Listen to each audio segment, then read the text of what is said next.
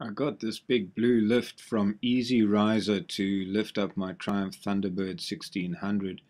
It's an awesome quality lift, but it took me a little while to work out what I needed to do, and I thought I'd make this video to help somebody else out if they got stuck on the same problem. The first thing we can do is remove these bolts and put them aside so we can use them later. We won't need that nylock nut, so you can discard that for now and you're left with these neat holes in the mount with no protrusions to get in the way while you're maneuvering the lift under the bike and getting it into place. So these are the bolts you'd be using. Now because we won't have this nut between the bike and the mount anymore, we need to make some adjustments to the measurements that we were given in the initial instructions. So this measurement on the right now needs to be 80 millimeters and this measurement needs to be reduced to 315 but in reality I found that by making that measurement 310 the rear support bracket sits under the sump in a better position and makes me feel a little bit more confident. We need to put a block of wood under the side stand just to lift that side of the bike enough that we can line up that hole.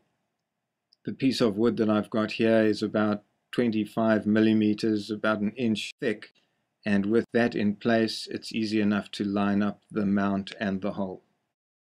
So with those preparations done now we can slip Big Blue underneath the bike and line up the hole on the far side.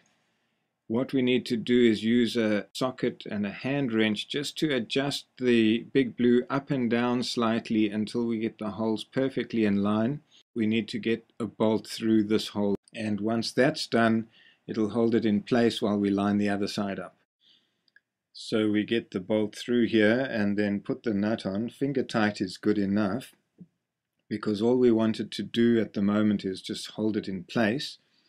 And then we move around to the other side of the bike and as you can see this side of the bike is much higher so the holes don't line up. So now we need to put a wrench onto the screw at the top of Big Blue and start to turn slowly and carefully. Keep an eye on the bike, watch how it slowly comes vertical and every now and again you can take a peep over the top of the bike and have a look at how things are looking that side. Keep turning and looking, turning and looking until eventually you'll see that the right hand side hole is almost lined up. You'll find that if you keep these bolts at the bottom here loose on this side, so that there's just a little bit of free play in that bracket, you'll be able to fit the screw through quite easily.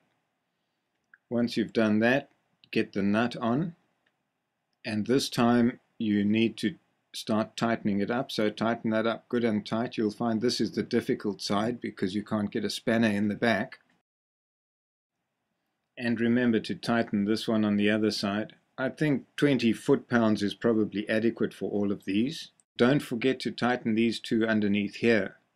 Now, if you're happy that everything's tight, do one last look around for safety, check everything's right, and the bike's ready for lifting.